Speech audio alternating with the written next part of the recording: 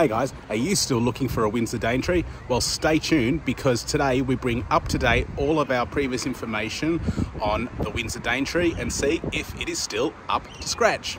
Anyway, it's time to jump on board.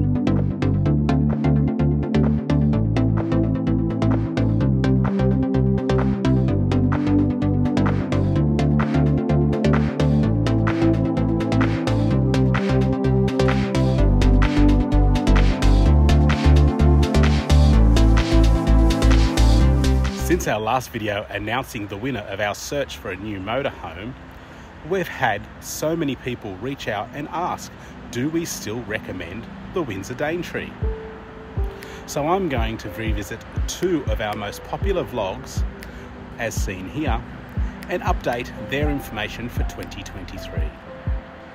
If you follow us, or if you've seen some of our videos previously, I started making content covering the Daintree over two years ago as there was none around.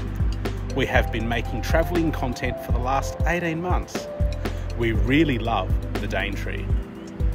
Its size, length, it makes it so manoeuvrable and the Renault drivetrain is smooth yet powerful. The electric raising bed provides a welcomely large living area with its six-seater dinette underneath. There's the thoughtful and well used swivelling and reclining cabin seats, the large kitchen, and of course, its separate dry ensuite. Its decor is built around a modern colour palette and it has a very accessible Luton for storage. There's plenty of little useful touches, like the multiple USBs, the internal blinds, generous headroom, and externally it has an included picnic table and an outdoor shower. The Daintree's bed lowers down to an accessible height where a ladder is not required, but for some, a portable step may be of help. The Daintree has a full width dry ensuite, and this means that the toilet is separate from the shower, keeping it dry. It also has a vanity with lots of storage and a huge mirror. It also has a solid sliding door for privacy as well. All these positives haven't changed since we first reviewed it. Now, prices have risen across the board with all brands since we visited this decision, and that affects the value equation. There's plenty of thoughts out there as to why Apollo has had a very consistent and sizable price rise, from trying to slow down the orders or covering the increase in costs or just plain greed. How you view the value here is personal choice.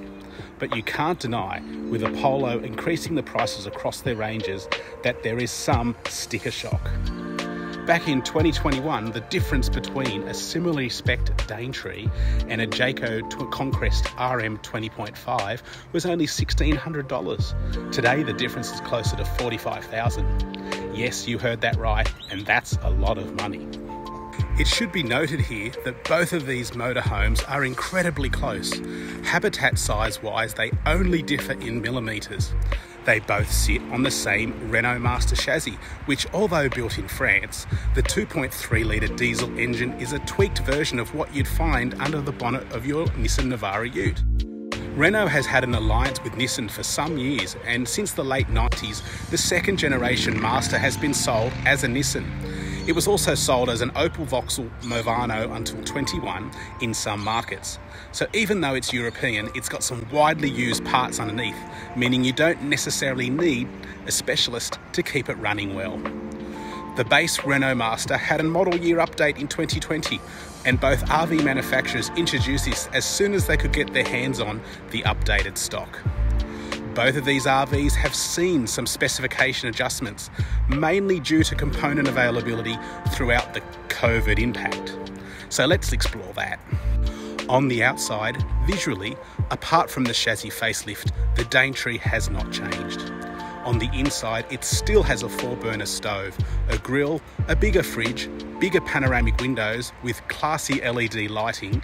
It has an ambiance of a modern apartment, but the freshwater tank has shrunk from the original 110 litres down to 96 only.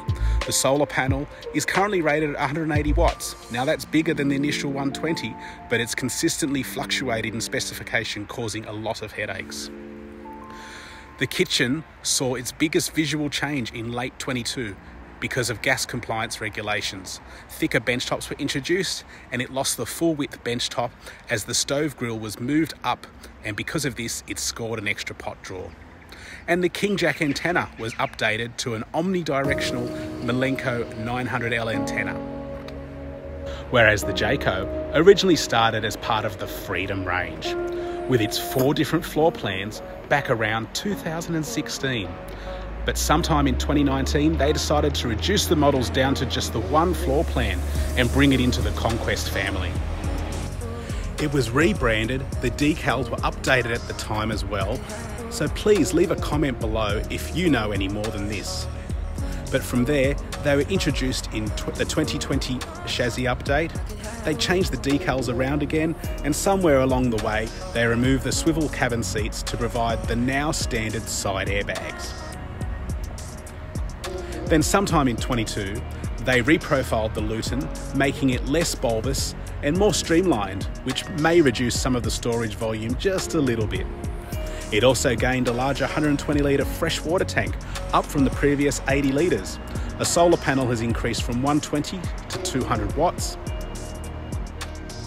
With the RV market running still hot, although waiting times have been reduced of late, if you can afford and want to order a brand new motorhome, the wait on these has come down to around nine months, which is similar to our wait back in 2021 when we made the original decision. Now, I touched on prices earlier, and it can be said that price rises can be attributed to demand, popularity, or availability.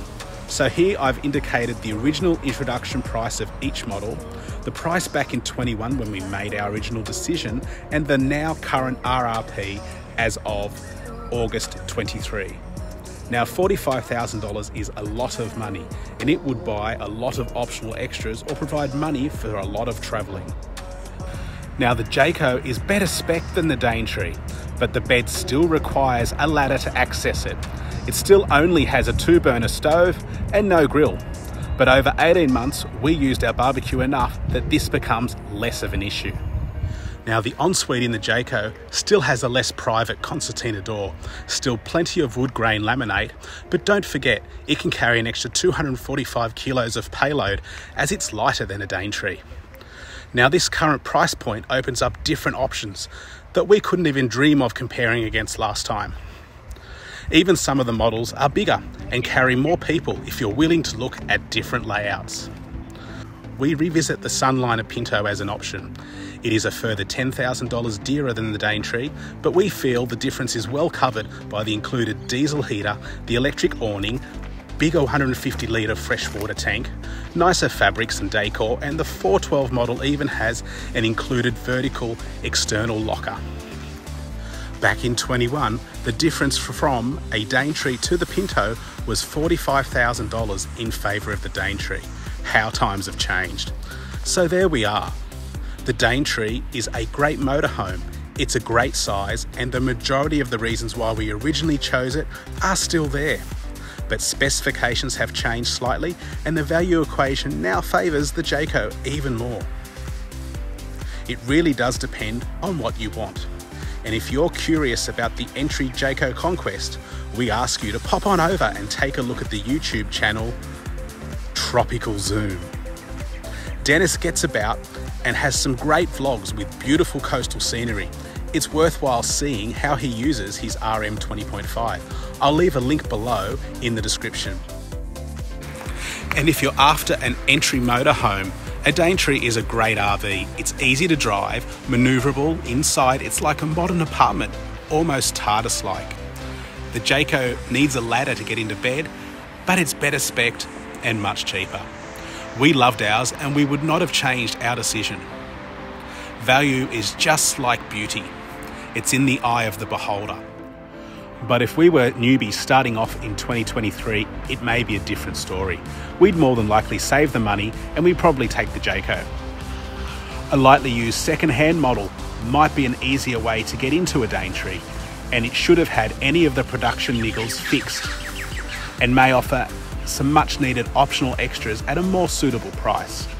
It's only a call you can make as the prospective owner. Hopefully, this information helps you make that decision, and soon we'll be seeing you next time out on the road. See you later.